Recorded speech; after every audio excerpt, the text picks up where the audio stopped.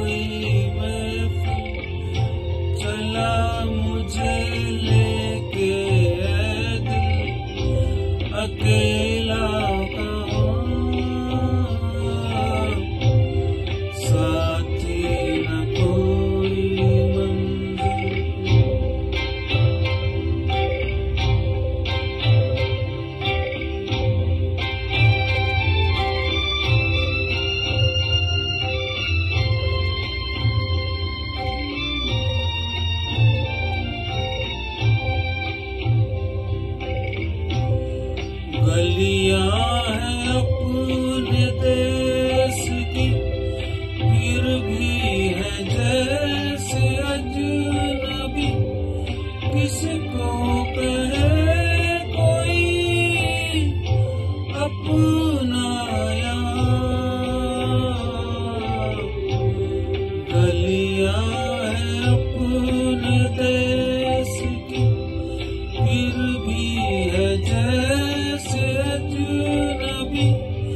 e